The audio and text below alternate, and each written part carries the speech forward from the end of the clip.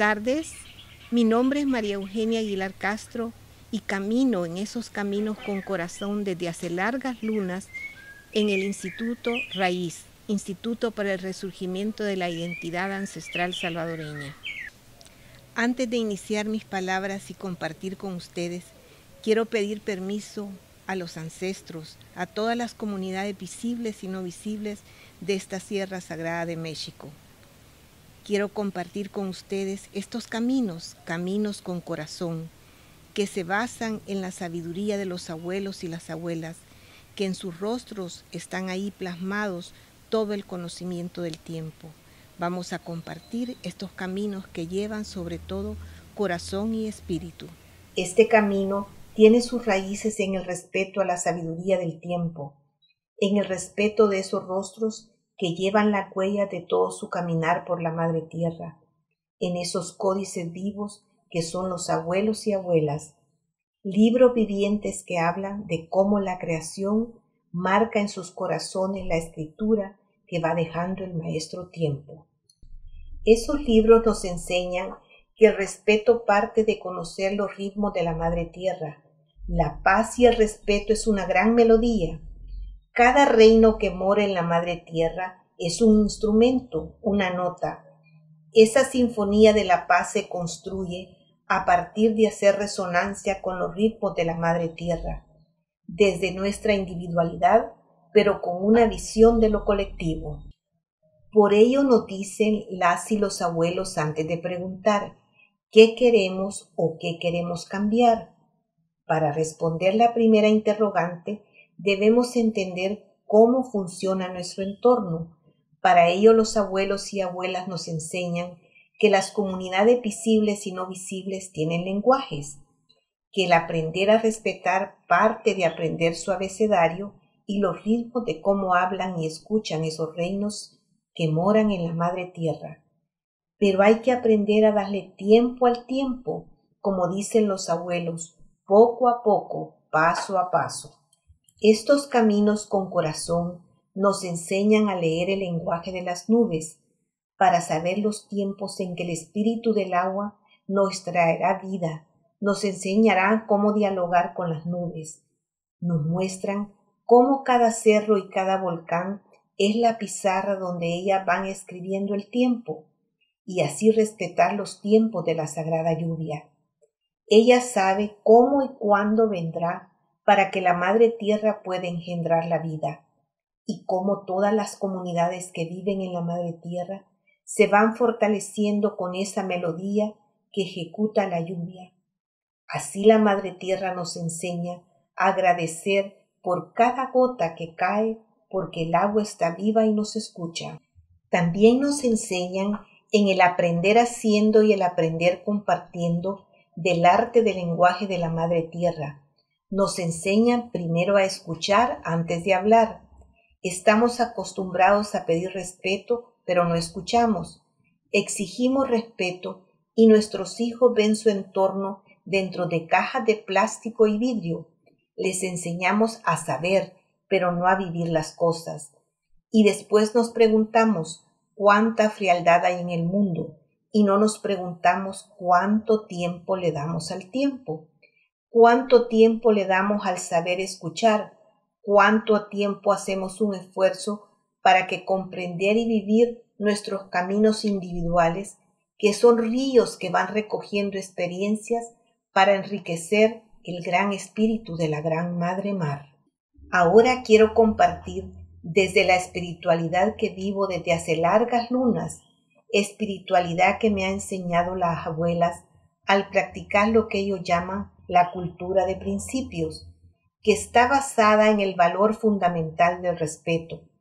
Este es el valor que se vive día a día, respetando la creación que está viva en todos los reinos de la Madre Tierra, todo lo que nos rodea son comunidades vivas, la comunidad de las sagradas piedras, donde moran consejos de grandes abuelas, que guardan como computadoras perfectas la memoria del universo. Solo basta amarlas y sentirlas para poder escuchar su lenguaje y respetar sus espacios. Cuando caminamos y levantamos una piedra de la madre tierra, Pedimos permiso para llevarla, pues ellas también son parte de una gran comunidad y del ecosistema. Las piedras tienen tantos lenguajes para comunicarse a través de sus formas, de sus texturas, de su temperatura y de sus colores.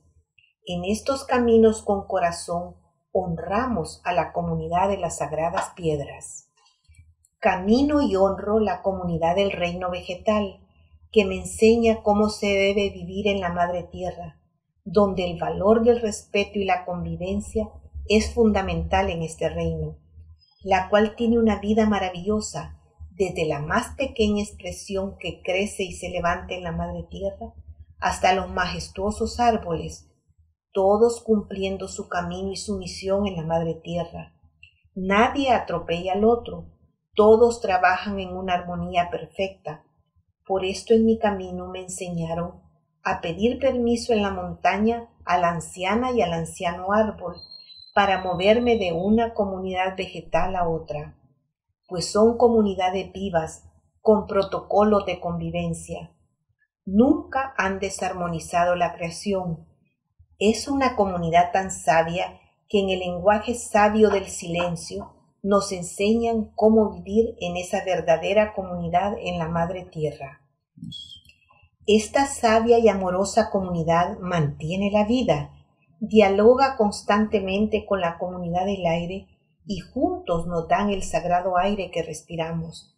Ellas nos dan el alimento y la sanación para nutrir nuestros cuerpos, pero sobre todo nos expresan su belleza con su lenguaje que dialoga constantemente con la comunidad del viento, con la comunidad del agua, y con las comunidades que no podemos ver con estos ojos físicos. Son, como todos los reinos, obras armoniosas y perfectas de la creación. Honro cada día la comunidad del mundo vegetal y en mi camino de cada día entiendo por qué los calendarios sagrados tienen como enseñanza la comunidad del mundo animal. Cada día esa comunidad me enseña que han pasado tantos ciclos alrededor del Padre Sol y jamás ellos han transgredido las leyes de la creación. Sus vidas nos enseñan el verdadero camino del amor, de la solidaridad y sobre todo el valor del respeto. Allí están, cada día cantándole, en cada amanecer honrando al Creador y a la formadora de todo cuanto existe. Ellos hablan de una manera armoniosa, le hablan a todos los reinos con sus cantos, que son mantras sagrados, llaman a la hermana lluvia, dialogan con el viento, con la comunidad vegetal que los acoge. Nos dan mensaje del por qué en estos caminos se nos enseña a respetar y a escuchar sus lenguajes. Sus vidas tienen tanto que enseñarnos a cómo honrar y vivir en armonía con la creación. En este reino como en todos los reinos que vienen del Creador y la formadora de todo cuanto existe, jamás desarmonizan la creación.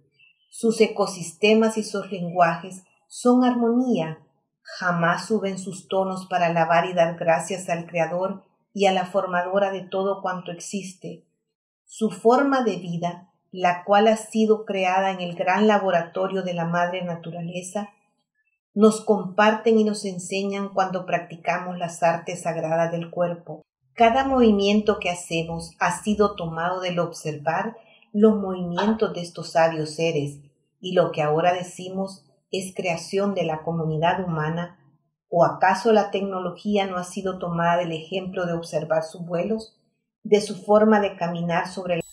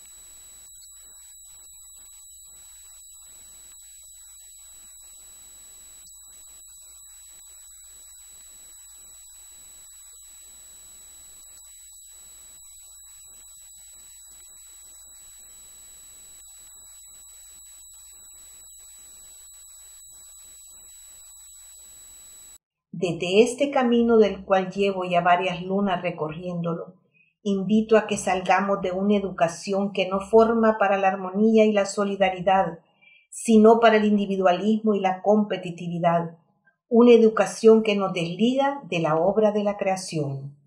Hoy invito que volvamos a educar desde ese ejemplo vivo de las aulas de la creación.